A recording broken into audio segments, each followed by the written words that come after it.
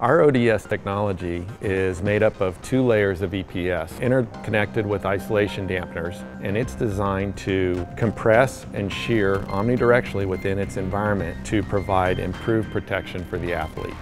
This ability to displace and compress reduces the transfer of angular acceleration energy and also low threshold energy to the brain or the head in the event of an accident. So we accomplish this by separating the helmet into two layers.